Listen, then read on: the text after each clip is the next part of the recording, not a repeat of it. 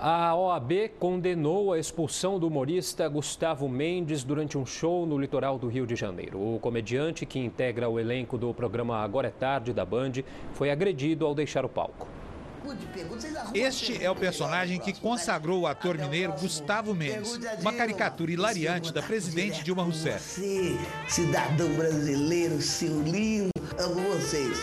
Um beijo na alma. Sábado passado, o ator foi contratado pela Prefeitura de Búzios, no litoral norte do estado do Rio, para se apresentar numa praça pública.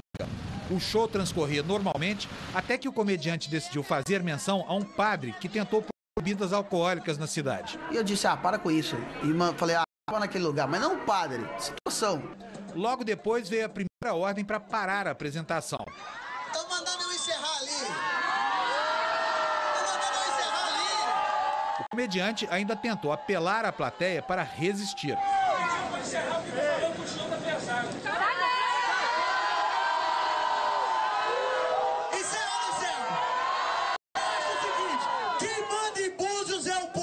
Mas não adiantou. Sentindo-se ameaçado por um assessor do prefeito, Gustavo e sua equipe saíram apressados. E o comediante acabou sendo agredido enquanto caminhava para o carro. Fui cercado por seguranças que me conduziram até o carro. Nesse momento eu senti um chute nas minhas costas. Apesar do seu caráter claramente inquisitório, a agressão contra o comediante recebeu a aprovação de alguns políticos. A prefeitura de Búzios, por exemplo, emitiu uma nota justificando a expulsão do ator que foi apoiada também pelo deputado pastor Marcos Feliciano, aquele do projeto da Cura Gay. No Facebook, Feliciano diz que a apresentação foi interrompida quando Gustavo decidiu fazer piada com Jesus.